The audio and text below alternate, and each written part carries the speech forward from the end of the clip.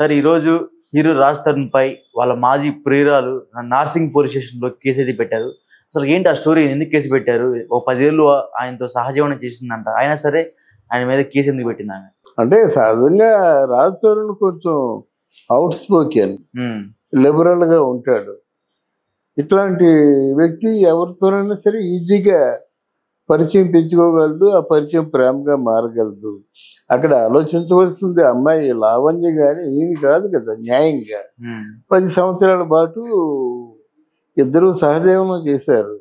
ఆ కోరుకొని చేశారన్నమాట. దీనికి వాళ్ళ తల్లిదండ్రులు కానీ వీళ్ళ తల్లిదండ్రులు కానీ ఎవరు బాధ్యులు కాదు. వీళ్ళ ఇష్టం మేరకే చేశారు.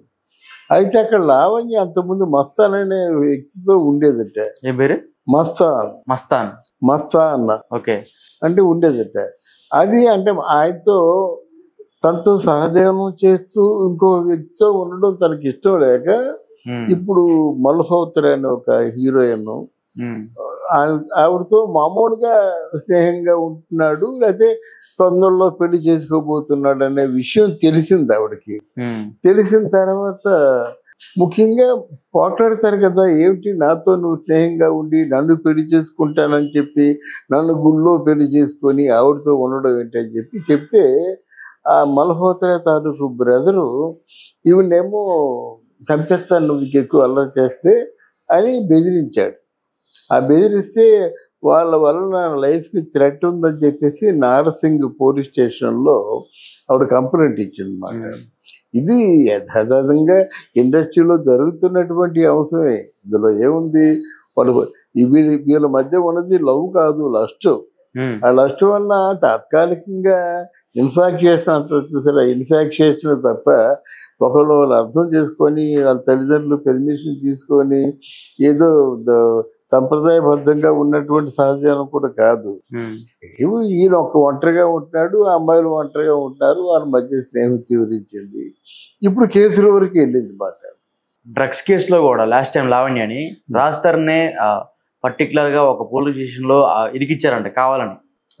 అసలు దాంట్లో నిజం ఎంత ఉంది? ఇప్పుడు రాతరంతో ఎప్పుడైతే చెడిపోయిందో లావణ్యకు సంబంధించినటువంటి ఏ గొడవలైనా సరే దానికి కారణం రాతరునే అంటది.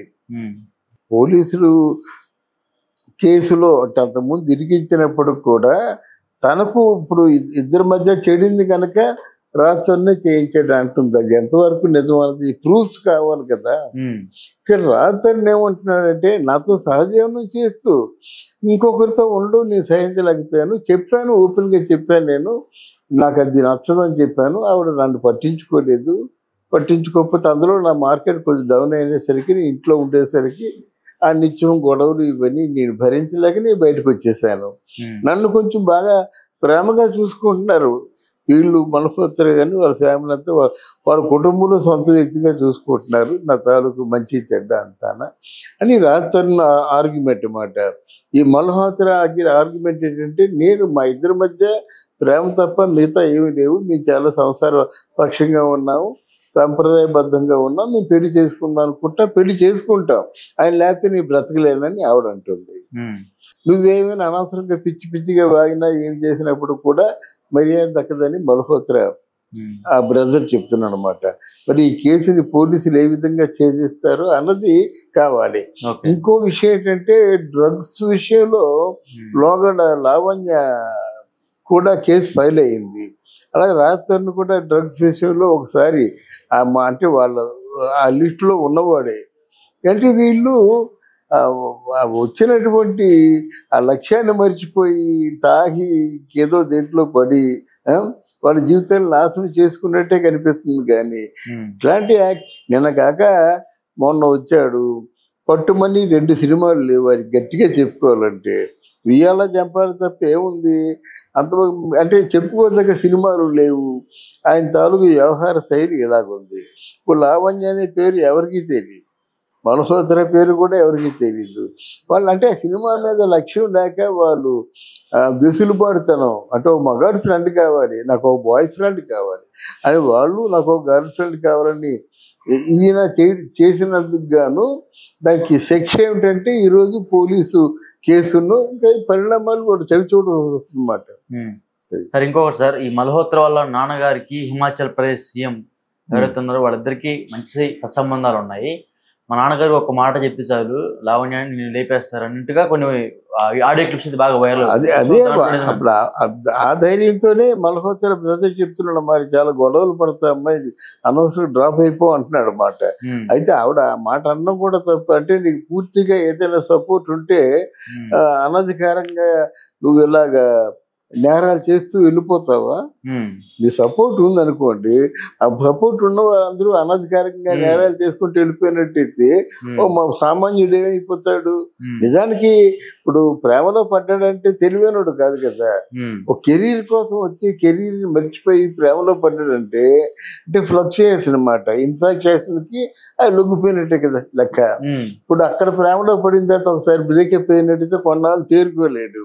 అక్కడ ప్రేమలో ప్రేమలో పడి బ్రేకప్ అయిన తర్వాత టక్ పని మల్హోత్రతో మా ప్రేమలో పడ్డాడంటే చాలా తేలికపాటి మనస్తత్వం అన్నమాట. లక్ష్యం ఐడియాలజీ లేనటువంటి మనస్తత్వం. ఏదో అమాయకుడు దొరికాడని చెప్పేసి ఆవిడ కూడా మల్హోత్ర కూడా మా కుర్రాడు మంచోడు బాగున్నాడు హీరోగా లేకపోయినా ఏమైనా చేసుకోవచ్చు కదా వాళ్ళ. ఆలోచనలు ఎలా ఉంటాయంటే చూడడానికి బాగున్నాడు లేదా ఆయన పక్కన నీ హీరో మన హీరోయిన్ కాకపోతే అటు ఆయన భార్యగా బాగుంటానా లేదా అని ఆలోచిస్తారు కానీ మిగతా ఆలోచించరు కదా. ఎప్పుడు పెళ్ళయి సంసారం చేసుకుంటూ పిల్లలు పుట్టిన తర్వాత కదా ఎంత విలువైన సమయాన్ని మనం వేస్ట్ చేసుకున్నాం అనిపిస్తుంది. కానీ ఇప్పుడు వాళ్ళకి కళ్ళు కనిపించవు.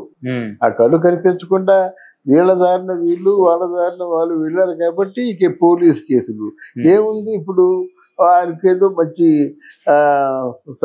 పెద్దవాళ్ళు సీఎం ఎవరో మొత్తానికి గవర్నమెంట్లో ఉన్న అధికారితో పలుకుబడి ఉంది కనుక ఈ లావణ్య కేసుని కొట్టేస్తారు అప్పుడు మనోహరతో పెళ్ళి అయిపోతుంది దీని ఎండింగ్ అలాగే ఉంటుంది అన్నమాట మళ్ళీ ఎప్పుడు కేసు అవుద్ది? పొరపాటున లావణ్య కానీ ఏదైనా మందు మందు తాగేసి ఇది ఆత్మహత్య ప్రయత్నం చేశారనుకో చేసింది అనుకోండి ఆ కేసు పెరుగుతుంది అన్నమాట హత్య నేరం అవుతుంది అన్నమాట ఆ. హత్య ఆవిడ ఆత్మహత్య చేసుకోలేదు రాత్రనే హత్య చేశాడు. అంటే అలా ఉంటుంది అన్నమాట అంటే మనం కేవలం చట్టం మన చేతుల్లో తీసుకొని చట్టాన్ని దొరకకుండా తప్పించుకుంటాం తప్పించుకోగలం అనేటువంటి అతి నమ్మకమే ఈ కారణానికి ఈ